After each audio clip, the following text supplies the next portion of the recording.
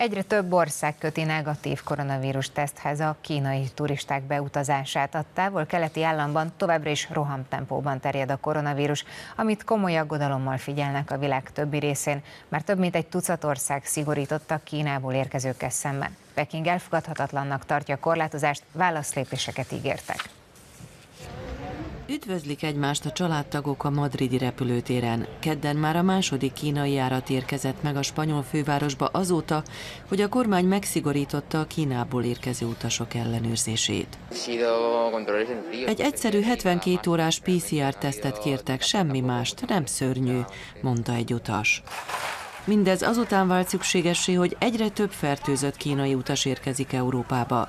A pekingi kormány tavaly decemberben az emberek hosszantartó tiltakozása nyomán feladta a zéró Covid politikáját, és a hirtelen enyhítések nyomán emberek milliói fertőződtek meg.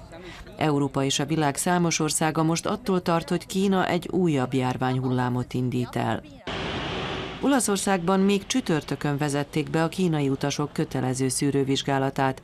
Aznap ugyanis egy Milánóba tartó járat kínai utasainak a fele fertőzött volt. Spanyolország kettől, vagyis január 3-ától szigorított, és minden Kínából érkező utasnak három napnál nem régebbi negatív koronavírus tesztet kell felmutatnia.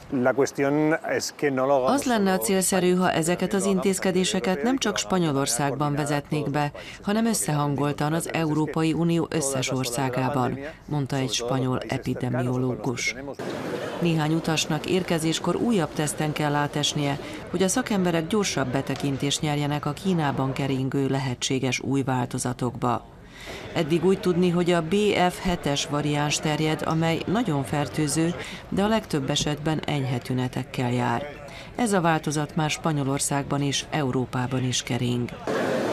Franciaországban január 1-től vezették be a kötelező tesztet azok számára, akik közvetlenül vagy átszállással érkeztek Kínából. A londoni kormány január 5-től kezdődően szigorít ugyanígy, emellett Európán kívül az Egyesült Államok, India, Izrael, Dél-Korea, Japán és Ausztrália döntött a teszt kötelezettségről. A vírus terjedésének megakadályozása érdekében ezek az ellenőrzések legalább február 15-ig lesznek érvényben. A világ több országa emellett azzal vádolja a pekingi kormányt, hogy nem ad megfelelő és pontos tájékoztatást a fertőzés típusairól és a betegek számáról. Hivatalosan naponta 5000 új fertőzést jelentenek, azonban becslések szerint számuk akár az 1 milliót is elérheti. Kína reagált a vádakra. Készek vagyunk javítani a kommunikáción a világgal és együttműködni a járvány leküzdése érdekében. Ugyanakkor úgy gondoljuk, hogy a beutazási korlátozásoknak, amelyeket egyes országok csak Kínával szemben szabtak meg, hiányzik a tudományos alapja, és egyszerűen elfogadhatatlanok. Ezek szerintünk politikai célú manipulálások, ezért a kölcsönösség elve alapján megtesszük a megfelelő intézkedéseket, mondta a pekingi külügyminisztérium szóvivője. Közben az Európai Unió ingyenes védőoltást ajánlott Kínának. Az Európai Bizottság szóvivője egyelőre nem részletezte az oltóanyagok mennyiségét és gyártóit sem, és Peking még nem reagált az ajánlatra. Kína eddig ragaszkodott ahhoz, hogy saját lakossága számára csak kínai gyártmányú, inaktivált vírus és nem mRNS típusú vakcinát használjon.